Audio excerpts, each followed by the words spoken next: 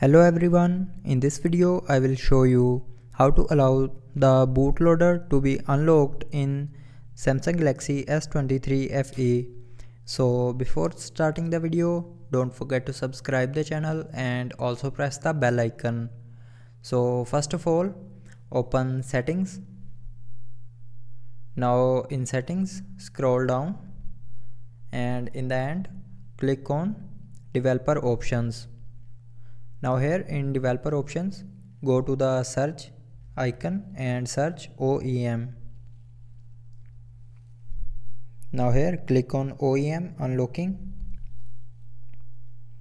And then if you want to allow the bootloader to be unlocked then turn on OEM unlocking button.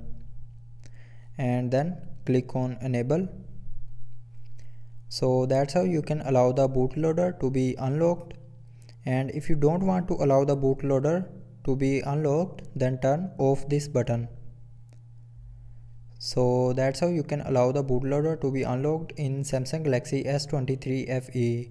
I hope you liked the video. Thanks for watching.